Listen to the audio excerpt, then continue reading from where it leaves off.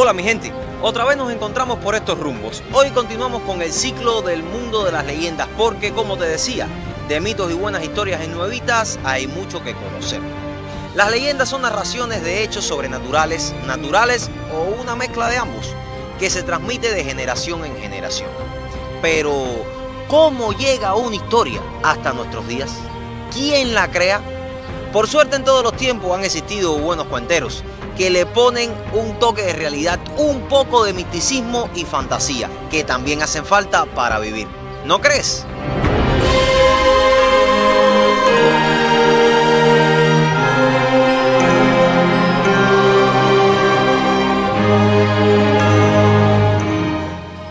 Precisamente, mi gente, sobre uno de los protagonistas, el cuentero Baltasar y mucho más, conocerás por estos caminos llenos de historia y leyenda.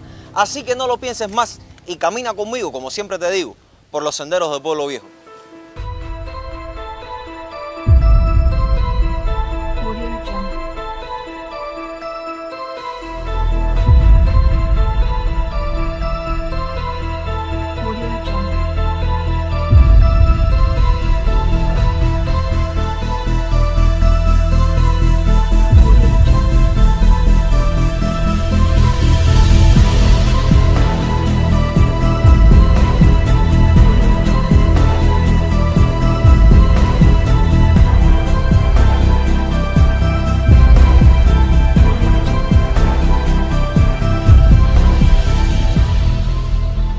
Senderos del pueblo viejo.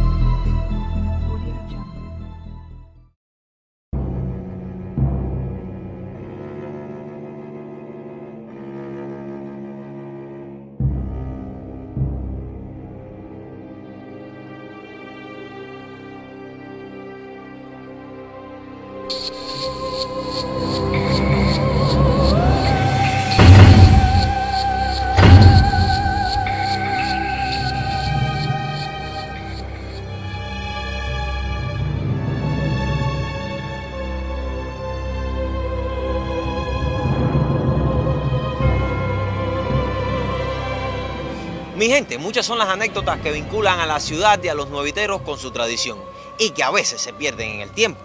Pero por suerte para ustedes, aquí estamos nosotros los buscadores de historia para no dejarla desaparecer. Porque a quien no le gusta escuchar un buen cuento. A ver, por ejemplo, ¿alguna vez oíste hablar sobre el cuentero Baltasar? ¿Te sabes algunas de sus fábulas? Ah, pero esto hay que contarlo desde el inicio. Ubiquémonos en el momento. Era el año 1797 y los habitantes de Pueblo Viejo, cerca de la actual comunidad de Pastelillo, comenzaron a emigrar hacia otros lares por la falta de agua potable y ataque de corsarios y piratas.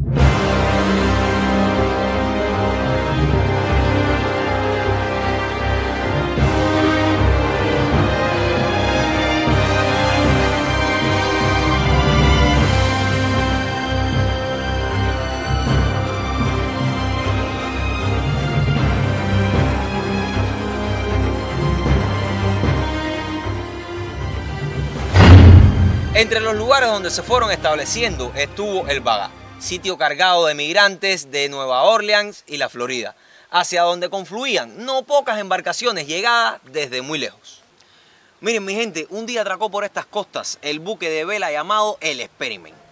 Al mando su capitán era conocido como Don Baltasar, cuyas únicas destrezas no eran solamente en los menesteres marinos, sino además con la palabra y se decía que era muy locuaz y ocurrente, al punto tal que se decía que entretenía a todo el mundo con sus exageraciones.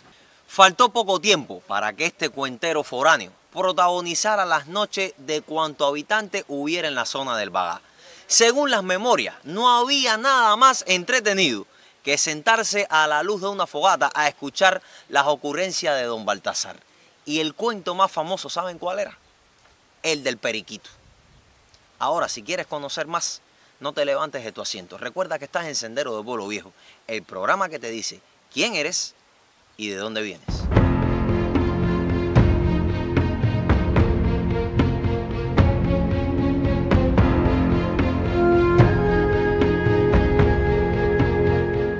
Contaba Baltasar que durante la difícil travesía que lo había llevado hasta ese lugar, venía en su barco un marino que traía consigo un perico de esos muy exóticos en una jaula.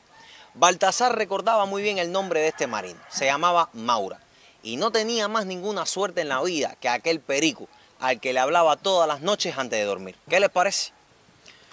Pero claro, como toda navegación, esta tuvo sus turbulencias y en una tarde de mal tiempo, a golpe de olas y fuertes vientos, la jaula cayó al piso y del periquito no se supo nada más. Salió volando hasta desaparecer por suerte, adentrándose en esta isla que ya mostraba su tierra a la vista a los marinos del experimento.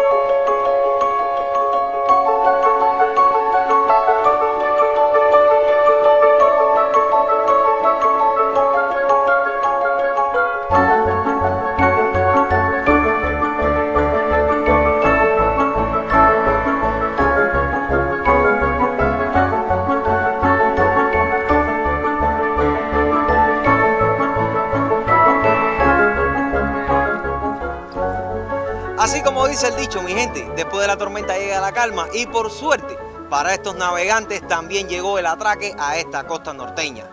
Encontraron el asentamiento del Bagá, pero les costó muchísimo trabajo. Y mientras tanto, ¿qué creen? Tenían que buscarse la comida. Y aquí es donde viene lo mejor de esta historia. Resulta que salieron algunos de cacería entre una arboleda. Entre ellos, Don Baltasar, que además le gustaba dar el ejemplo y garantizar el bienestar de su tripulación. Así fue como ocurrió lo inimaginado. En un revoleteo de aves, cuando el capitán del barco se disponía a disparar, escuchó una vocecita que le decía, no me tires Baltasar, que soy yo tu periquito, el del barco. E inmediatamente el ave perdida se posó en la punta de la escopeta con reverencia llegada. Nada, que aquel cuento le fascinaba a los moradores, unos morían de la risa por las ocurrencias fantásticas del cuentero, otros cuchichaban sobre posibles locuras en aquel forastero. Y además, había personas que encontraban gracia y talento en aquellas narraciones, al punto tal que hoy, dos siglos y medio más tarde, aquí estoy yo contándoles las ocurrencias de un lejano Don Baltasar.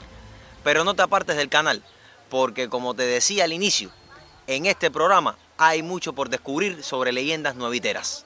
Sigue con nosotros aquí en Senderos de Pueblo Viejo.